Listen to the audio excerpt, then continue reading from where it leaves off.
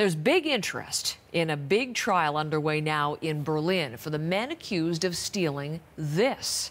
It's known as the Big Maple Leaf, the massive gold Canadian coin, which you may remember because we covered it at the time, was stolen from a museum in Germany back in 2017.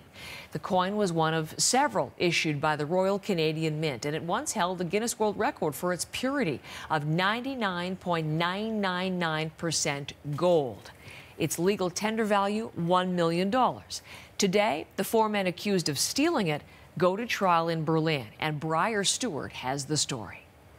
That, that trial got underway a couple of hours ago in Berlin, and it's expected to attract a lot of attention because this really was a stunning heist.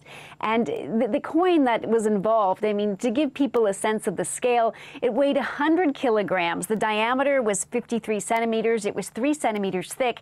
It was affectionately known as the Big Maple Leaf.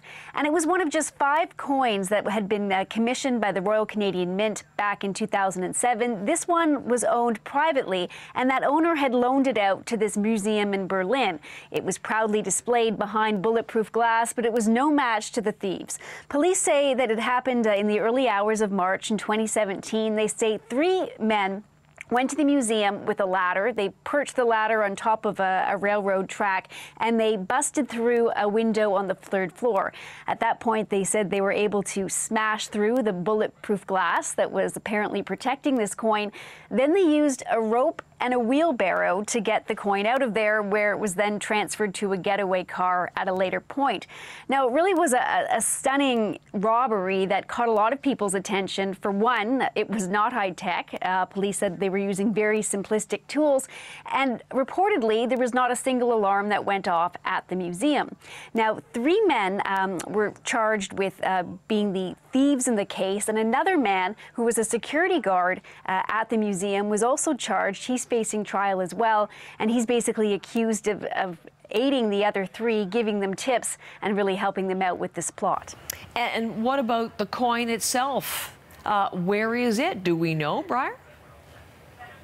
Well, unfortunately, investigators think that the coin is probably long gone, and that's just because of how valuable it was. I mean, its face value was a million dollars, but investigators said if it was melted down and sold off uh, in pieces, it could fetch probably about $6 million Canadian at the time because gold prices were so high. So, unfortunately, investigators don't believe that this gold coin is ever going to be recovered, uh, but the, the men who are charged with stealing it are facing trial, and the trial is expected to last about 12 days. Briar Stewart in London.